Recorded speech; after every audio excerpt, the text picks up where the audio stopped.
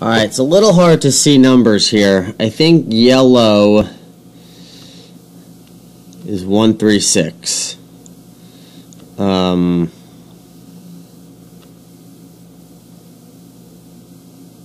yeah, so yellow here has got to figure out if they're going to go pass back going forward, make the 1 3 pass back happen, or are they playing going back and playing to play 4 getting people on the same page. Looks like that squeeze happens with 11 pretty soon.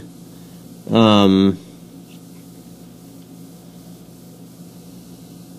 again, I still think we need to kind of work on our positioning for these passbacks, making them happen as soon as possible.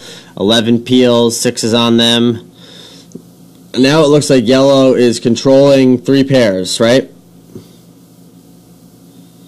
Five's got 10, I think six got 11 and four's got 12.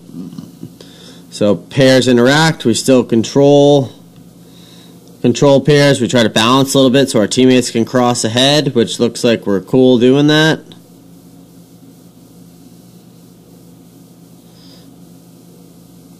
A uh, little imbalance on the right pair, uh, but we'll probably play one. Um, it looks like we are play one with an ace. So four is doing a good job of really holding up 12 there. Um, and yeah, that's kind of a good good show of a 136 conversion. Good job.